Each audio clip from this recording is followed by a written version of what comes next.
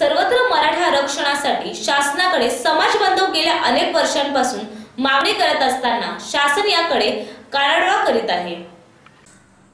मराठा बांधवांनी वेगवेगळ्या माध्यमातून सरकारचे लक्ष वेधून घेण्याचा प्रयत्न केल्याने काकासाहेब शिंदे यांनी गोदावरी नदीमध्ये जीव देऊन बलिदान दिल्याने त्यांचे पडसाद सर्वत्र उमटले असून त्यामुळे खोपोली शहरात त्यांना श्रद्धांजली अर्पण करून बुधवारी खोपोली बंदची हाक दिली असली तरी चौक फाटा येथे राष्ट्रीय महामार्गावर टायर जळून रास्ता रोको करण्यात आला आहे. मंगळवारी खोपोली शहरात मराठा समाजाचे बांधव जमा होऊन काकासाहेब शिंदे यांना श्रद्धांजली अर्पण केली.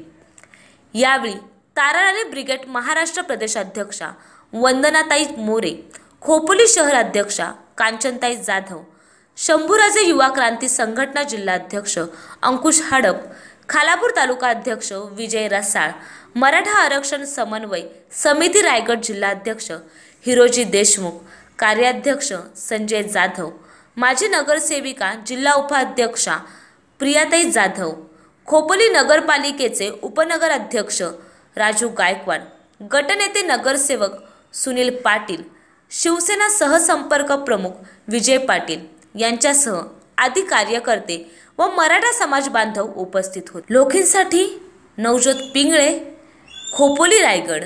श्रद्धांजली व निदर्शनं जी काही झालेली आहेत त्यामुळे उद्या जी महाराष्ट्रव्यापी बंदची आग दिलेली आहे काय भूमिका असेल इतर रायगडच्या मराठा संघटनेची? तिथे कुठला एकच ही संघटना नसून सकल मराठा समाजाने हा पुकारलेला बंद आहे. आणि मला असं वाटतं ही पहिल्यांदाच जल समाधीचा हा विषय जो आहे या तरुणांनी म्हणजे कमी वयामध्ये या समाजाला आरक्षण द्यावं आणि त्यांनी जी काही जनसमाधी घेतलेली आहे.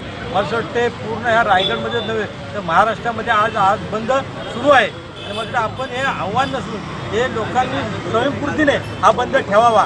कारण जर जर का मला असं वाटतं महाराष्ट्रामध्ये बंद होत असतात तर कोणी बंद ठेवणार नसेल. तर मराठा एवढा म्हणजे शांत आहे तेवढाच तो मला रागीट देखील आहे. आणि त्याचं रूप हे बघण्याचा वेळ आज आलेली आहे. मला वाटतं या- येत्या थोड्या दिवसामध्ये मला वाटतं जर का हे आरक्षण लवकर मिळालं नाही तर मराठा समाज नक्कीच रस्त्यावर उतरल्याशिवाय राहणार नाही. आतापर्यंत त्यांनी म्हणजे शांततेच्या मार्गाने हा लढा उभारलेला आहे.